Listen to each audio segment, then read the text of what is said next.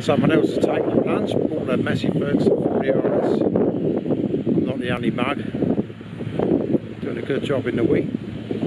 This combine's a bit tiny than mine, just come straight from uh, Furlough None Standard. And uh, it's doing a really good job. It's a nice combine, it looks like it's been well looked after. Uh, I think it'll be a, a good investment. Uh, hope it does very well.